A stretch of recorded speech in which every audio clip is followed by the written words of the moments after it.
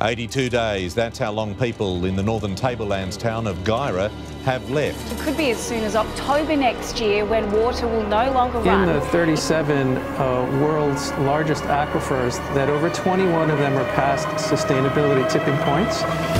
The oceans, which act as a sponge Before for they CO2 run out of emissions, water. The water crisis gripping New South Wales is, now at emergency level. Temperatures in parts of southern Africa are expected to rise by twice the Uh, about 2 billion people rely on, on groundwater as a primary water source.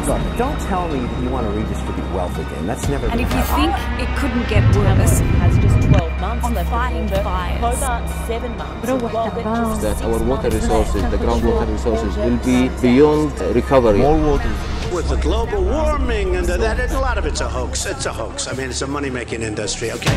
water is more valuable in the sense that uh, it meets more needs, uh, even more than, than fossil fuels and oil. And yet we've treated it as if it's a free commodity and that it'll always be available in supply. Either we look at in what, in what we eat and how we live and, and, and so on, that's going to happen.